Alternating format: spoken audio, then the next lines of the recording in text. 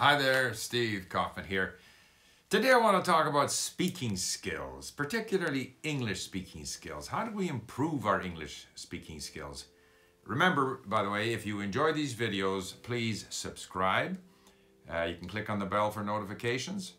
And by all means, join me at LingQ. Um, also, I should point out that these, for those of you who are learning English, uh, all of these videos um, are available on LingQ uh, where you can study the transcripts and use them for your language learning. I think many people uh, feel that they understand English, that they can read English uh, fairly well, and that they struggle when speaking. Now, this problem is obviously not limited to people who are learning English. I think people learning all kinds of languages find themselves in a situation where they they feel frustrated that they aren't able to say more and they feel that they, they their comprehension is is uh, better than their ability to speak. So I want to talk a little bit about what we can do to improve our speaking skills with specific uh, reference to English. First of all, uh, I'm going to say that in my experience in dealing with uh, people who are learning English and who claim that they understand well but they can't speak well, that in most cases, that is simply not the case. My own experience is that in order to speak well, you have to understand very, very well. You have to have a large vocabulary.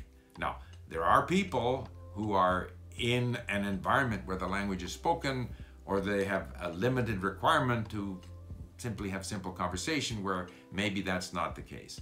But in my experience, in order to have conversations on a variety of subjects, we need to have a large passive vocabulary and a high degree of comprehension. Uh, that's always been my experience. Uh, if I measure how many words I know on LingQ, at what point am I, you know, able to converse freely, that number is surprisingly high. Like, I don't know, 60,000 words on Czech. I have 100,000 words or 95,000 words in Russian. Now, Granted, the way we count words at LingQ may be a bit misleading because we count every form of the word as a different word. And we do that, A, because it's easier for the system to count, and B, because different forms of the word, a noun or an adjective or a verb, very often they have different functions in the sentence. So I think it's worthwhile, you know, making sure you learn the different forms of these words. But the, the, the, net result is that you need a lot of words. So, you know, I found, for example, say with French or with Chinese, that when I did a lot of listening to audiobooks, uh, a lot of reading, and, and brought my sort of passive level in the language up to a, a very high level, that my speaking ability improved significantly because you're, in my experience, our output ability is always going to be less than our ability to, to receive the language.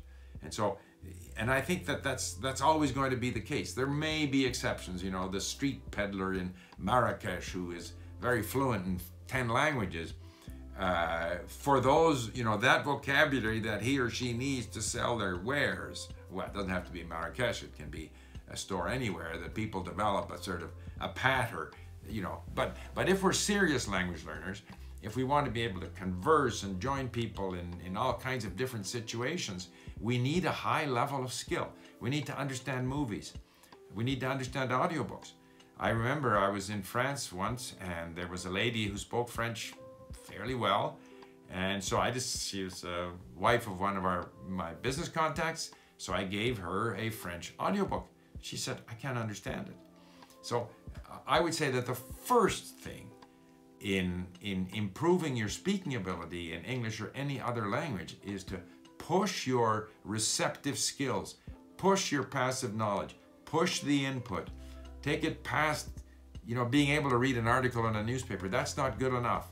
Get to where you can read a book, read several books, listen to audiobooks, watch movies, you know, expand the range of your skills in the language. That's point number one. Point number two, when you speak, it's only through making mistakes that you're going to improve and make fewer mistakes. So you have to be willing to put yourself in a situation where you're going to stumble. You have to be willing to put yourself in a situation where it's uncomfortable. People around you are speaking quickly and you feel as if you don't have enough time to say what you want to say. And so you have to put yourself in that uncomfortable position over and over again and not worry about the impression you create, but rather worry about your ability to convey some meaning, even if it's not everything you would like to say, because you can't, you don't have enough words or you don't have the ability to say everything you want to say, but you can have a strategy of, of having some things that you can say where you stay within the limits of, of what you know and you say it. And gradually that will expand as you continue your, your heavy emphasis on input and the range of phrases and expressions that you have starts to increase and you can start using some of them, but without ever worrying about how you sound. Similarly, with pronunciation, if you listen carefully to the pronunciation, if you pay attention to the pronunciation, gradually your brain will get used to those sounds and you'll start to speak with better pronunciation. You'll start to produce phrases that you have accumulated with more natural intonation and natural pronunciation. And so your control of or the, sort of the range of weapons that you have, the range of phrases and words that you have at your disposal will increase even if you only remember a small number of them when you want to use them. That small number is going to gradually increase, but it will always be much less than the full range of phrases and words that you understand. And that shouldn't be a cause of frustration. That's normal. And you need to continue putting yourself in that situation. Now, I would also suggest that at an early stage in your learning, you know, the emphasis, in my view, needs to be more on the input side so you can start accumulating the comprehension skills, these weapons, these words and phrases. And as you progress in the language, if you now feel, yeah, I can read, I can understand, well, then push on that reading and understand. Read some novels. Read outside your comfort zone. Listen to audiobooks. Uh, don't have subtitles in your own language and you're watching a movie. Do all of those things to push the, the brain's familiarity with the language. And then when you go to speak, just let go. Just let go. And, and listen to how the other people around you use the language. That's also very important. It, it, very often, if you say something and it wasn't said quite correctly, people you're talking to may just pick up on that phrase and use it in their reply, in their you know reply to you, and so you can sort of start, you know, bringing that in and acquiring those weapons in your arsenal. Okay, so the way you improve your speaking skills obviously is to speak more. You have to speak a lot. Okay, let's start right there.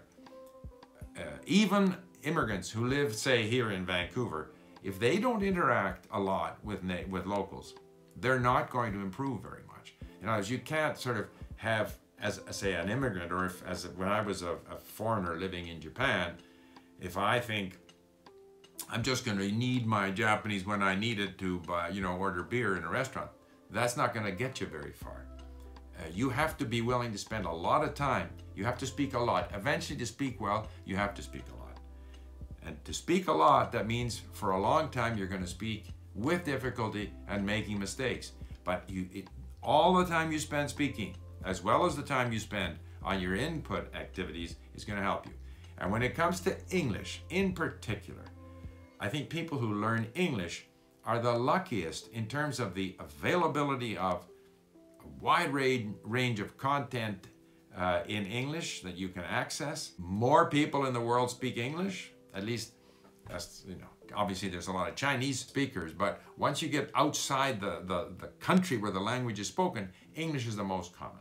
And therefore, the opportunity to use English is much greater than it is for most of these other languages. So people who are working to improve their uh, speaking skills in English, they're lucky. They have more input available and they have more opportunity to use the language. So, you know, that's my advice on that score.